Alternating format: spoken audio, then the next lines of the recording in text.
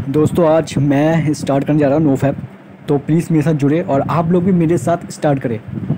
तो आप लोग अंदाज़ा लगा सकते हैं कि मैं और आप, हम दोनों कितने दूर तक जा सकते हैं। जो नहीं रोक पा रहा उनके लिए है, जो नो फैप नहीं कर पा रहे, जो नो मैं भी, आप लोगों में से एक ही हूँ नो फैप नहीं कर पा रहा था। बट अब मैंने सोचा कि अब इससे को ऐसे स्टार्ट करेंगे कि करो या मरो।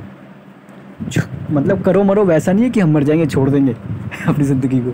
ऐसा नहीं है। करो या मरो का मतलब है यार, सबको बता के, सबको बता के कि मैं कर रहा हूँ। देखो, मैं नो फैप में हूँ। अगर नो फैप अगर नहीं बता पा रहे आप तो समझ लो आप मर गए। इस चैनल से मतलब आप आउट हो गए।